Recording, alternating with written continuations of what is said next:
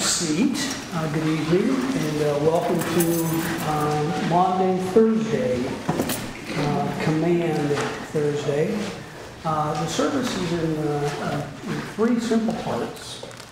Start out a little bit with antecedents of the day. Um, We will have a foot washing. Jesus commands that. We will have also a communion service, and then following that, the stripping of the altar. So encourage your uh, prayers, uh, your participation, uh, and your presence.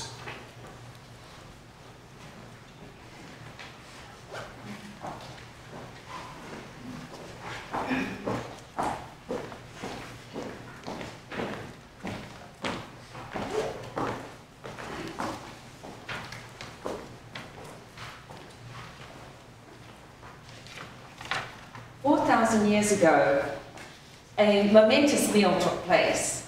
Sitting around the table were Moses, his brother Aaron, his sister Miriam, and the multitudes of Israelites preparing to leave Egypt. It was the first Passover meal. 2,000 years later, Jesus sat at a similar meal with his disciples. The story of Moses and his leadership of the journey from Egypt to the Promised Land was retold. Jesus and his disciples studied this story and observed this holiday the evening before his crucifixion. We come together tonight to remember and relive that evening. The Passover is celebrated to remember how God heard the cries of Israel. when they were slaves in Egypt and acted decisively in freeing them. Passover is more is about more than saying the right prayers and singing the right songs. It is about experiencing the love God felt for humanity, and which God expressed by freeing the Jewish people from Egypt. The Lord said to Moses, Each man is to take a lamb for his family, slaughter them at twilight, eat the meat roasted over a fire with bitter herbs, and bread made without yeast. They are to take some of the blood and put it on the sides and top of the door frames. On that same night I will pass through Egypt and strike down the firstborn of men and animal. The blood will be a sign. When I see blood, I will pass over you. This is a day you are to remember for generations to come. You shall celebrate it as a festival to the Lord, a lasting ordinance. On that day, tell your children, I do this because of what the Lord did for me when I came out of Egypt. And so the Passover was established. It was a feast Jesus celebrated. The annual pilgrimage to Jerusalem was a part of his faith. Jesus had looked forward to this occasion, having his own apostles, his chosen friends, his intimate companions for three years, grouped around him in the fellowship of the Last Supper. When Jesus and his friends ate that Passover meal, they were a small band of Israelites living in the midst of the oppressive Roman Empire. The Passover story of freedom and resistance to powerful political leaders resonated with poignancy and passion. We celebrate with joy and sing the Psalms. All praise to you, O Lord our God, ruler of the universe, creator of the fruit of the earth. Blessed be the name of the Lord from this time on and forevermore. Give thanks to the Lord, for he is good, for his steadfast love endures forever.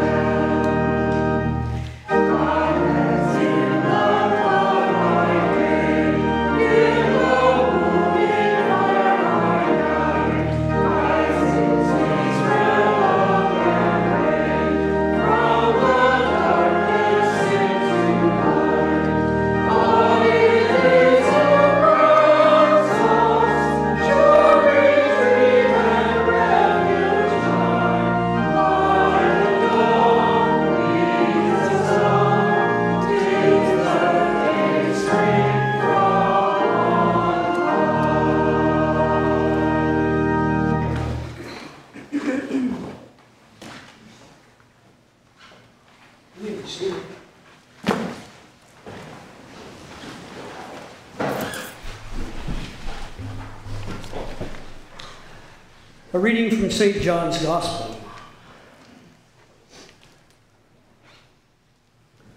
Now, before the festival of the Passover, Jesus knew that his hour had come to depart from this world and go to the Father.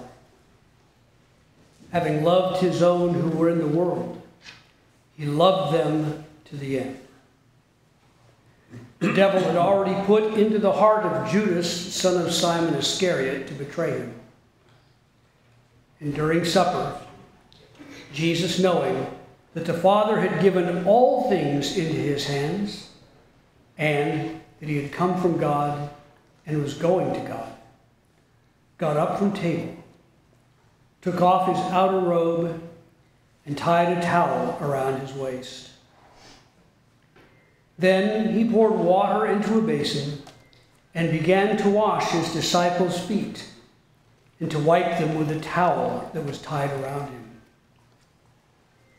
He came to Simon Peter, and, who said to him, Lord, are you going to wash my feet? Jesus answered, You do not know now what I am doing, but later you will understand. Peter said to him, You will never wash my feet. Jesus answered, Unless I wash you, you have no share with me. Simon Peter said to him, Lord, not only my feet, but also my hands and my head.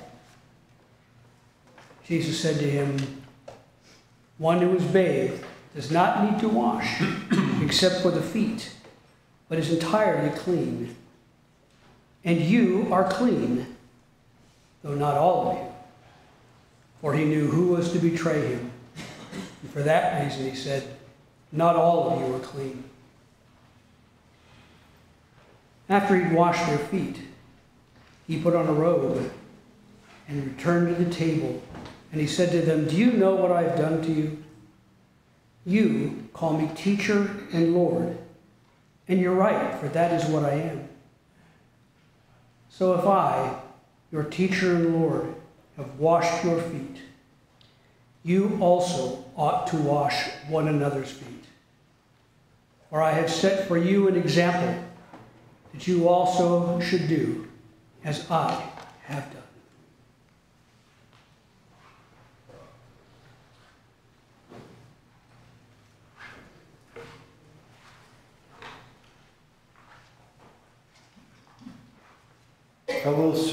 Of our Lord Jesus Christ, on the night before his death, Jesus set an example for his disciples by washing their feet, an act of humble service. Jesus taught that strength and growth in the life of the kingdom of God come not by power, authority, or even by miracles, but by such lowly service. We all need to remember his example. But none stand more in need of this reminder than those whom the Lord has called to the ordained ministry. Therefore, I invite you who have been appointed as representatives of the congregation and who share in the royal priesthood of Christ to come forward, that we may recall whose servant we are by following the example of our Master.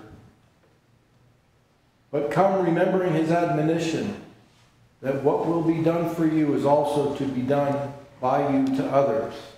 For as it is written, a servant is not greater than his master, nor is the one who is sent greater than the one who sent him. If you know these things, blessed are you if you do them.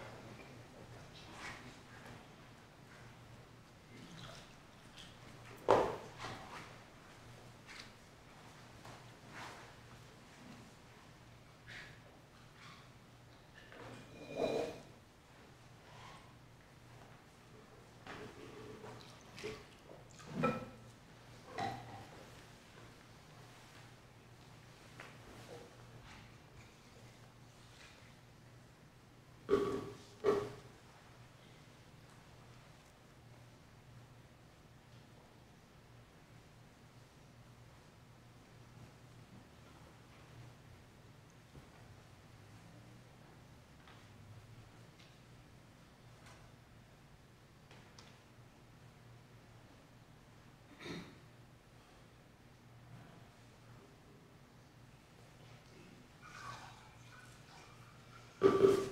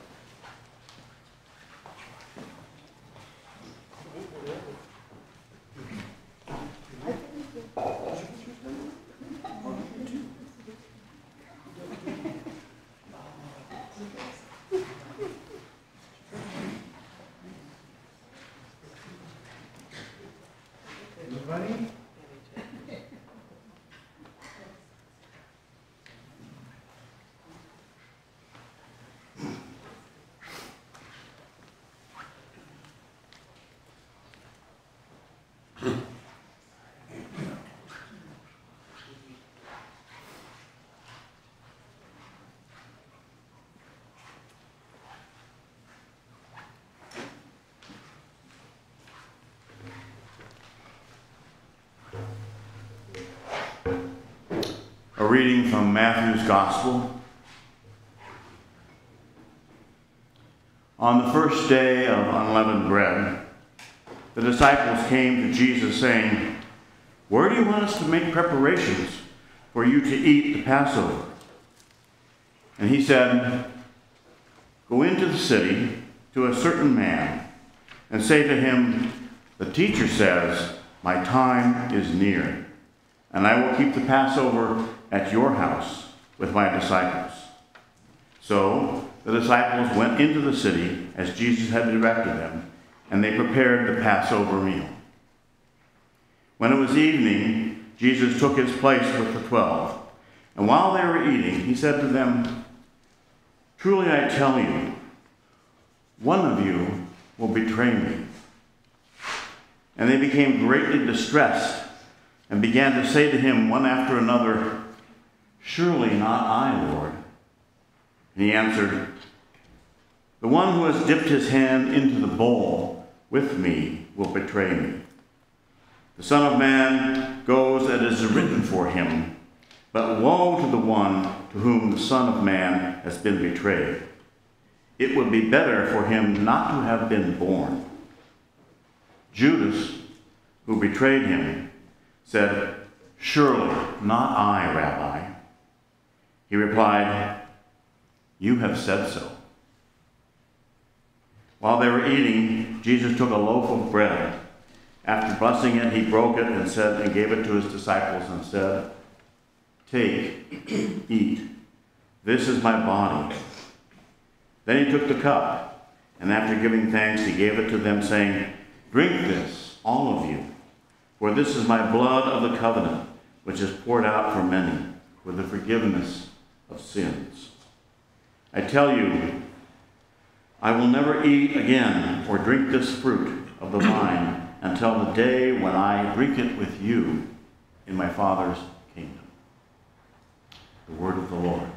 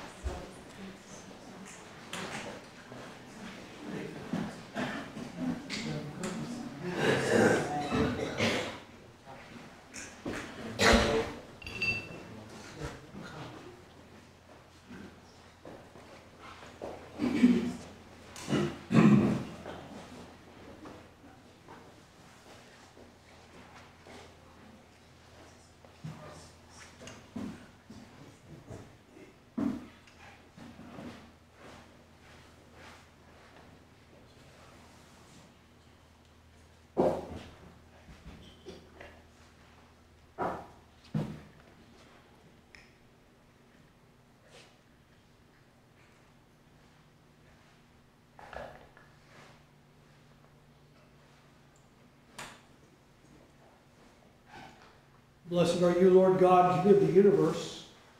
You bring forth this bread and this wine from your creation. Work of human hands and the fruit of the vine.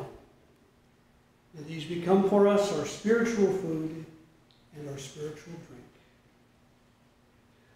Almighty God, we thank you for your love. You created the world and delivered it into our care. We rebelled against you, and you built a path that, if followed, could lead us toward salvation. You led us out of bondage in Egypt and into the land of promise. Through the message of the Hebrew Scriptures, you shared your plan of salvation with us. And in the fullness of time, you sent Jesus, the Messiah, the Christ, who by his life, death, and resurrection freed us from sin and death and calls us to life eternal and love. From St. Paul's first letter to the church in Corinth I received from the Lord what I also handed on to you. That the Lord Jesus, on the night he was betrayed, took a loaf of bread. And when he had given thanks, he broke it and said, This is my body that is for you. Do this in remembrance of me.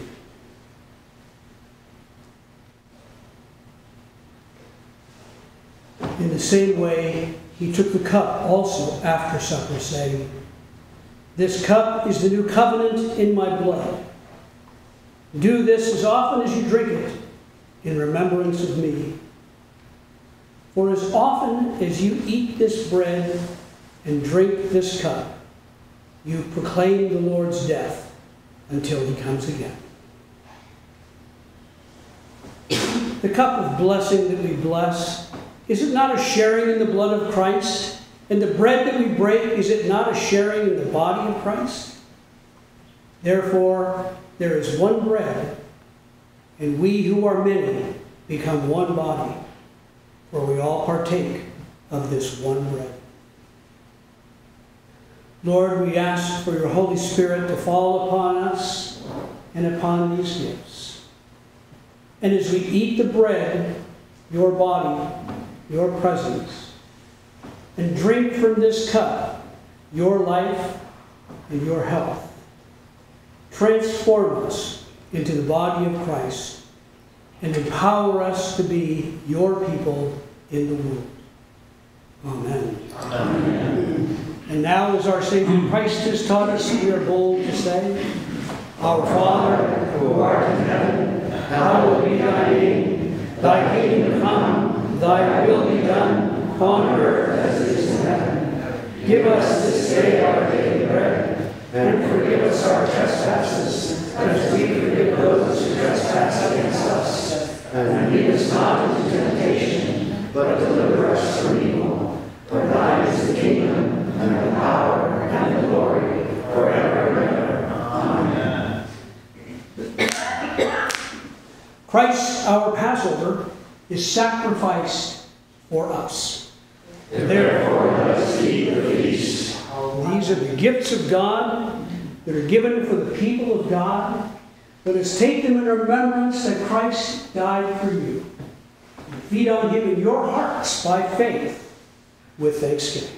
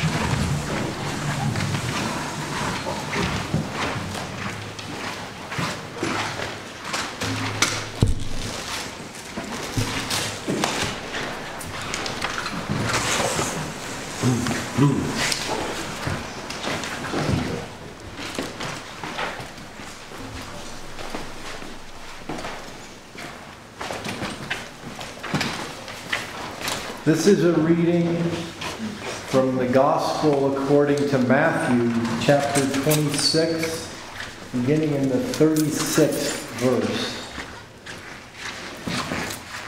Then Jesus went with them to a place called Gethsemane, and he said to his disciples, Sit here while I go over there and pray.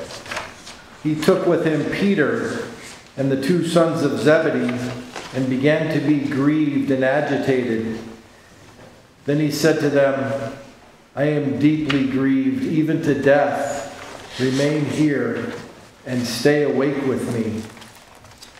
And going a little farther, he threw himself on the ground and prayed, My Father, if it is possible, let this cup pass from me, yet not what I want, but what you want. Then he came to the disciples and found them sleeping, and he said to Peter, So you could not stay awake with me one hour. Stay awake and pray that you may not come into the time of trial. The spirit indeed is willing, but the flesh is weak.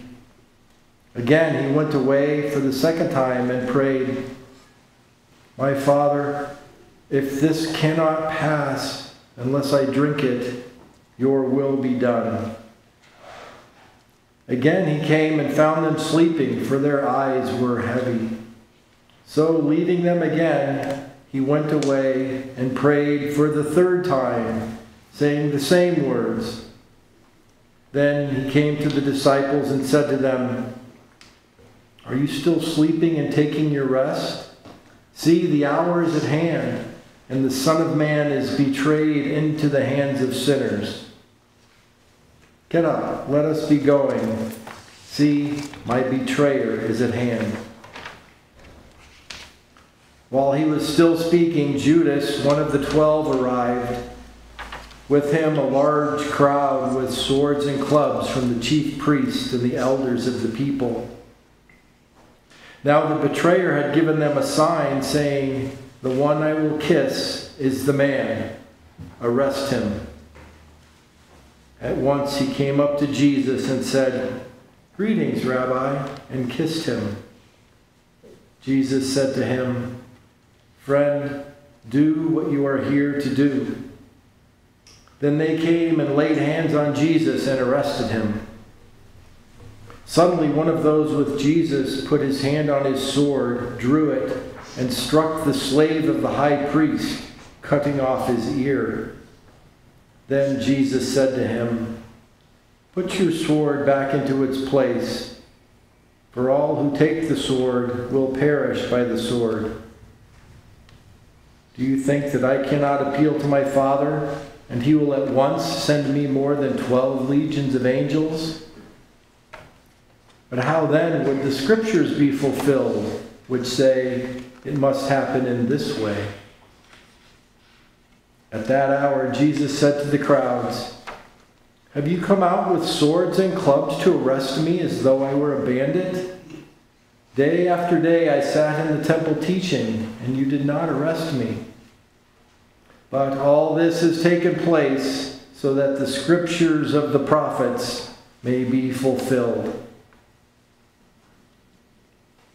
Then all the disciples deserted him and fled.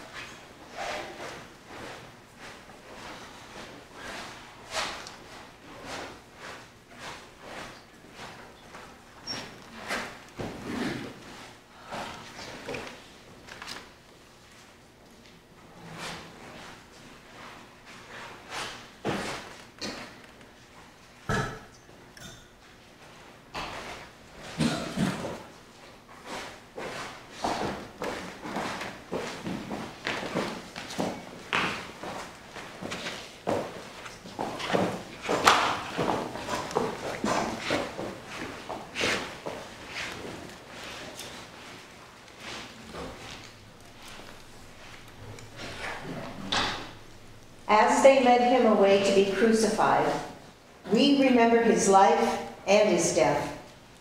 Deserted by his friends, the Son of Man walks alone.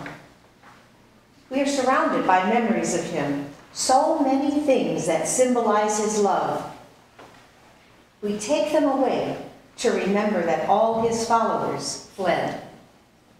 We are left with the emptiness of the world without Christ. We remove the Holy Scriptures, the writings which govern God's faithful and reveal the true nature of God and Jesus Christ. The Bible shares our history as a people of God. The stories of our salvation brought about by God and Jesus brings about the kingdom of God. The Bible is one of the three foundations of our faith, along with tradition and reason. We discard the hymnal, our book of joy and praise. Ever since the angels sang to the shepherds on Christmas Eve, the hymn has been the agent of spiritual awakening for God's people.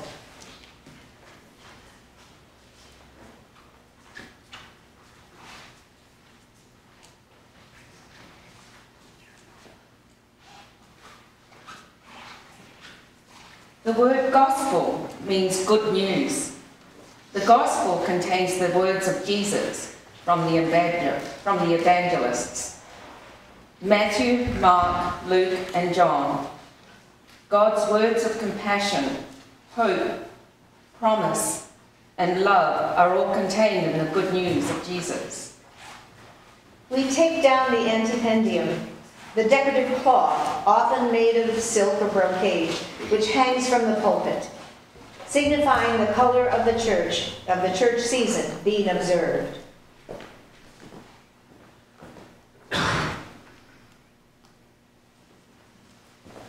We carry away the alms basins, plates that represent our sacrifice of praise and thanksgiving to God are placed on the altar, the place of sacrifice. Gifts collected are used to support the ministries of the local congregation and spreading of the kingdom of Jesus Christ.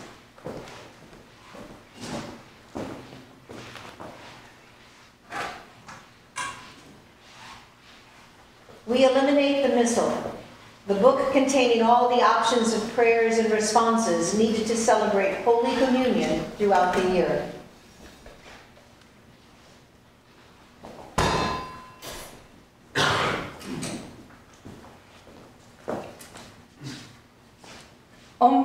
Means covered. A tabernacle is a place where God lives. In liturgical churches, this place is designated to reserve bread and blessed wine from previous services, to take to the sick and shut in during the week. On this night, all the blessed elements will be consumed, and the lamp representing the presence of God will be extinguished.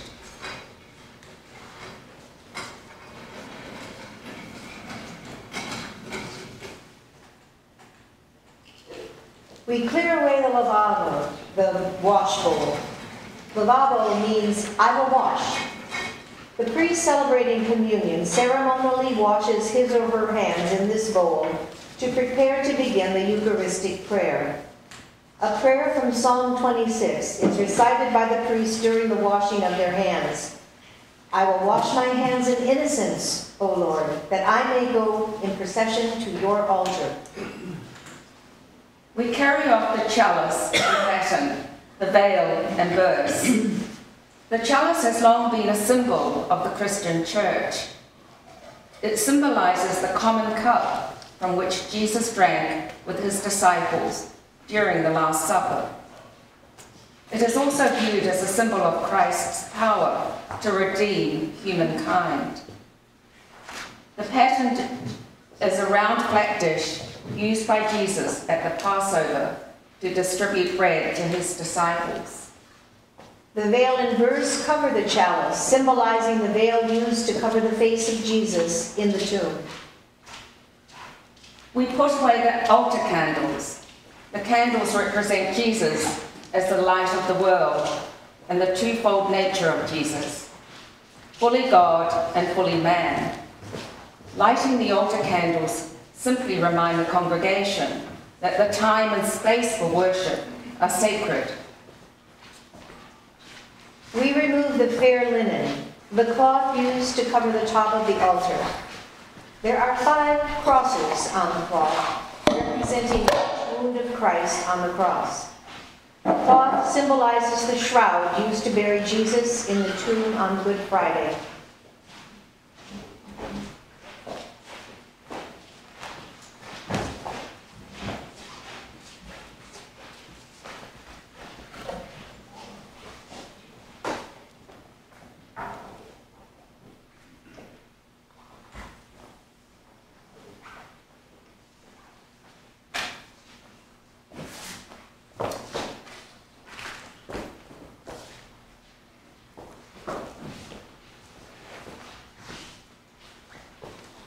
The last to leave the sanctuary are the processional cross and torches.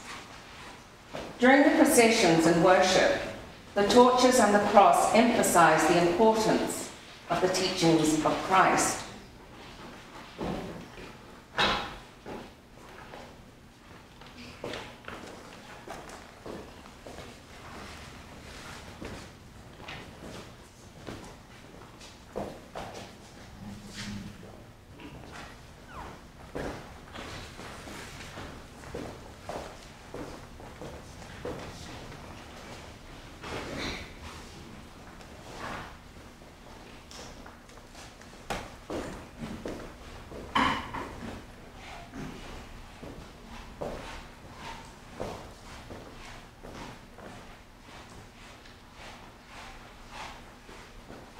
The cross leads the way, and the torches light the way for all Christian endeavors. With our light gone, we are left to remain lost in darkness. Darkness rolls over the sun across the tomb.